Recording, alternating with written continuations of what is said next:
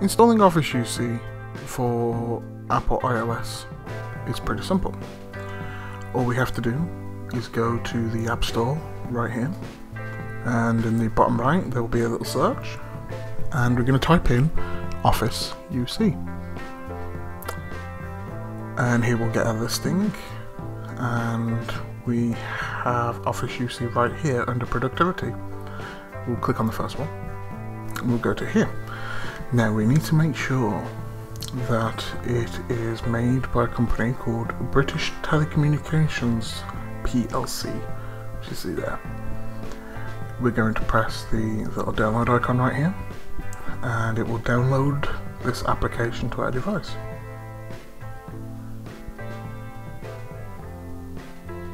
Just waiting for it to finish.